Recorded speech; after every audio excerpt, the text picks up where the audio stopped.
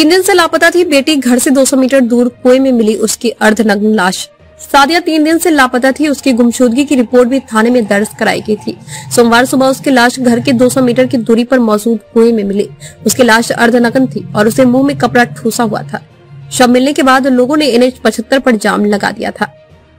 चक्रधरपुर के पोटका मस्जिद के पास सोमवार सुबह कुएँ में 20 साल की युवती का अर्धनग्न लाश मिलने से सनसनी फैल गई। युवती बीते तीन दिन से घर से लापता थी। कुएँ से लाश जब बाहर निकाली गई तो युवती के मुँह में कपड़ा ठूसा हुआ पाया गया। परिजनों का कहना है कि बेटी की हत्या की गई है। युवती की लाश मिलने के बाद परिजनों और अन्य लोगों ने एनएच पचहत्तर पर जाम लगा दिया।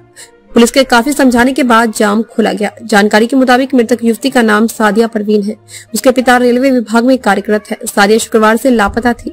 बेटी की गुमशुदगी की रिपोर्ट भी परिवार ने चक्रधरपुर थाने में दर्ज कराई थी। घर से 200 मीटर पर सादिया की लाश कुएँ में मिली। इलाके के रहने वाले रोहित शाह ने रविवार को अपने छोटे भाई मृतक विवेक शाह के निधन के बाद कुएँ के पास ही श्राद्ध कर्म किया था। सोमवार सुबह जहाँ पर टेंट लगा हुआ था, उसी के ठीक सामने मौजूद इस कुएँ से बदबू आ रही थी। शुरुआत में लोगों को समझ नहीं आया की बदबू कहाँ से आ रही है। जब लोग कुएँ के पास पहुँचे तो बदबू तेज हो गई लोगों ने कुएँ में झाँक कर देखा तो उनके होश उड़ गए। कुएँ में लाश थी यह खबर इलाके में आग की तरफ़ फैल गई। लोगों की भारी भीड़ जमा होने लगी। सादिया के परिवार के लोग भी मौके पर पहुँचे थे।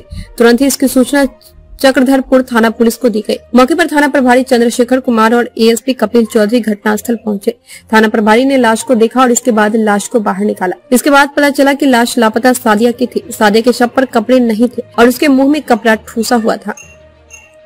सादिया की लाश मिलने के बाद लोगों का गुस्सा फूट पड़ा। हत्यारे की गिरफ्तारी की मांग को लेकर रांची चाईबासा मुख्य सड़क मार्ग एनएस पचहत्तर को जाम कर दिया गया।